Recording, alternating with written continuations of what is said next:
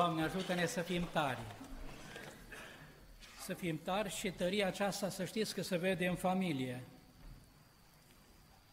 Eu cred că este o reeditare de fiecare dată când se întemeiază o familie. O reeditare a istoriei. Domnul este Cel ce se implică în familie dacă îl implicăm. Nu toate căsătoriile sunt cu Domnul nici pe departe. Nu se implică Domnul în toate familiile. De aia vedem atâta durere și atâta amar, disperare. Mereu spun la nunți, cea mai mare împlinire și cea mai mare bucurie o pot simți în familie, în mijlocul familiei, dar și cele mai mari traumatisme, amărăciuni, dureri. Și Adam și Eva au trăit o amărăciune mare. Te pune Domnul grădina asta în dreptul celor credincioși, excludem pe cei care nu nu-L implică pe Dumnezeu, care cred că este o aventură căsătoria și poți să o faci cum vrei. Sigur, astfel de tineri ori trăit și până la căsătorie, cum ori vrut ei. Numai în contextul în care îl implici pe Dumnezeu și în tinerețe și îți păstrezi fidelitatea, curăția și îl slujești pe Dumnezeu, Domnul se implică și la căsătorie. Și atunci primul principiu pe care vreau să-l nu-l uităm, Domnul are inițiativa în dreptul familiei a unor tineri credincioși. Atunci Domnul spune, nu este bine ca omul să fie singur. Nu este bine ca Odniel să fie singur, nu este bine ca Lavinia să fie singură. Atunci când tinerii își păstrează curăția, îl slujesc pe Dumnezeu, Domnul are întâietate în viața lor, atunci Domnul se implică. Un al doilea principiu este foarte important, să fii în grădină. În grădină, nu în altă parte, nu mă duc unde vreau, fac ce vreau, n-ascult de nimeni și în final vreau binecuvântarea Domnului. Ea nu se va întâmpla niciodată. Trebuie să fii în grădină, să stai la locul tău, grădina e biserica, să te implici în lucrare până la căsătorie, să te dăruiești lui Dumnezeu. Și atunci Dumnezeu, sigur, este suveran, este stăpân. Noi vedem, orizontul nostru e limitat. Ei sunt la un început de drum, pentru că voi aminti în final, după cele patru gânduri, că primul cu care se vor confrunta și cei doi, nu știu cât ori fost fericiți Adam și Eva, cât ori gusta fericirea, în grădină. Chiar în grădină, da, chiar în grădină sunt niște condiții pe care le pune Dumnezeu.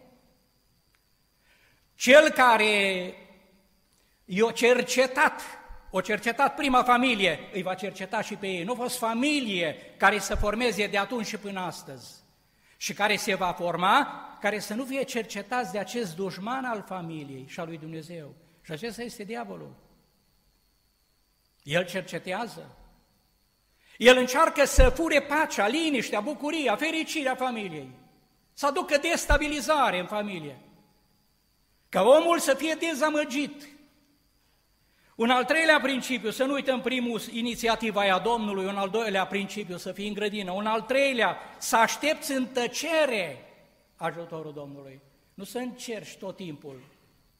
Azi cu una, mâine cu alta, cochetezi într-un fel și altul, da, de unde? Asta este încă o dată un pas greșit. Domnul te lasă atunci. Pentru că eu n-am întâlnit încă, chiar la nivelul bisericii, a bisericilor, la căsătoriile care, sigur, la care am participat de zeci de ani. Ce vreau să spun? Toți, toți s-au spus, s-au avut pretenția că încep cu Domnul, de la Domnul e căsătoria. În timp însă au fost naufragii multe, eșecuri multe. Și asta în timp se va vedea. În dreptul celor doi din toată inima doresc, Doamne, binecuvântă-i. Ajută-i însă să împlinească cerințele. Sunt niște cerințe, dar cum să nu fie? Sunt aici în Biblie. Să împlinească ceea ce Dumnezeu pretinde, cere. Și un al patrulea principiu, să recunoști. Să recunoști ajutorul Domnului. Iată un sfârșit. Ea este. Foarte important, să recunoști. De astăzi înainte am terminat, am încheiat. De acum focalizez toată energia în dreptul casei, în dreptul familiei. Pentru că la nivelul familiei sunt alte trei principii pe care, sau chiar patru, pe care Domnul le-a stabilit. Primul principiu, să lucrez în familie, în grădină. Aici, în dreptul familiei și în dreptul bisericii, să lucrez. Îi de lucru până la bătrânețe. Și atunci când ești bunic și bunică, ai de lucru în familie. Eu nu cred că e satisfacție mai mare și mulțumire decât să poți lucra în dreptul casei tale, să lucrezi pentru cei dragi, să te dăruiești. Ăsta e scopul pentru care ne-a creat Dumnezeu. În familie, de fapt, e atelierul de modelare a caracterului nostru pentru cer.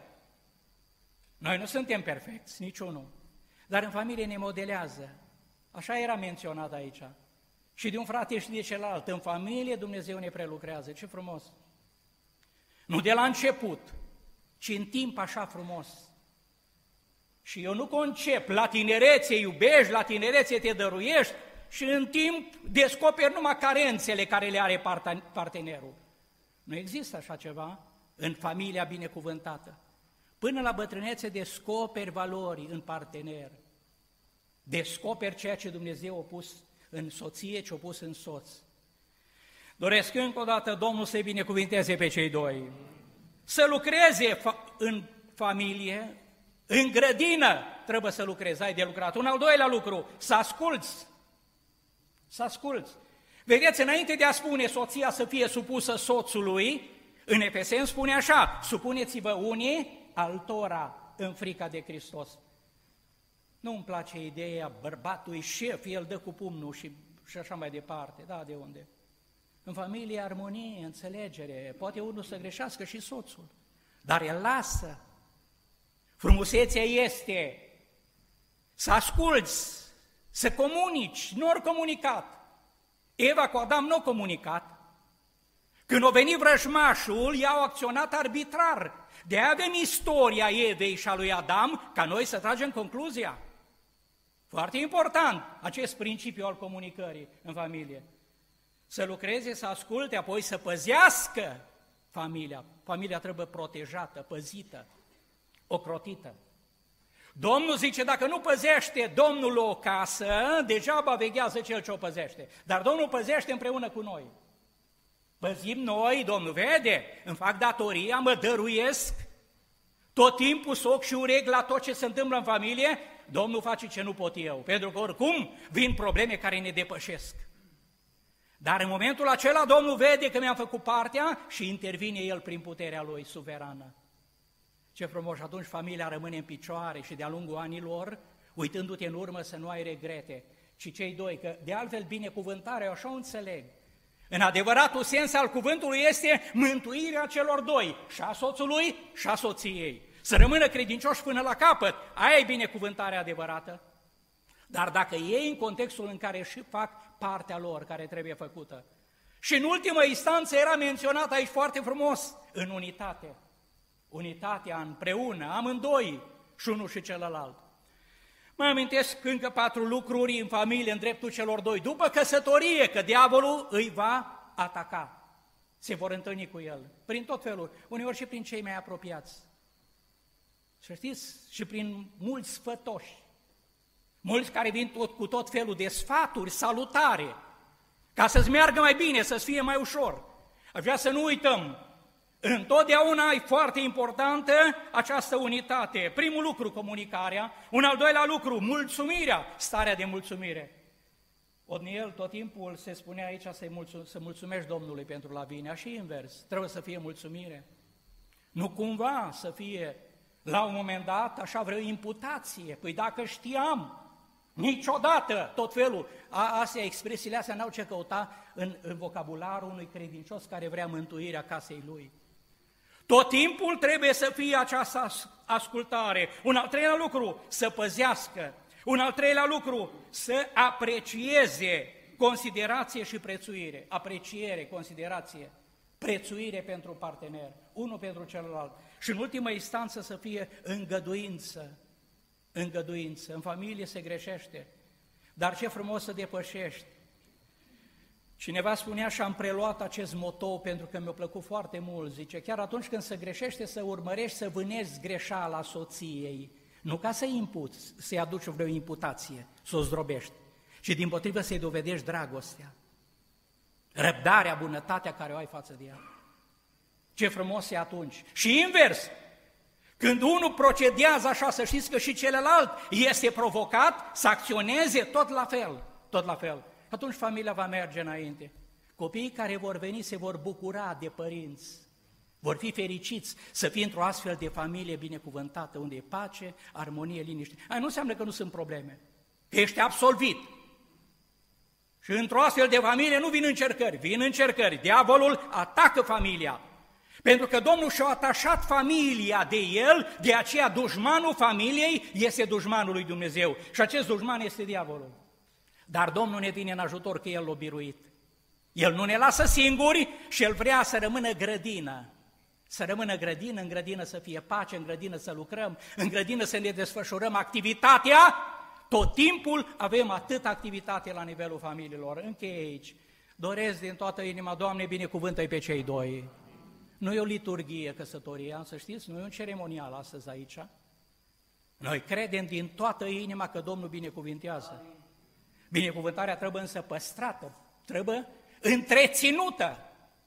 Trebuie întreținută prin activitatea și acțiunile noastre. Și atunci Domnul este Cel ce dă biruință familiei. Amin.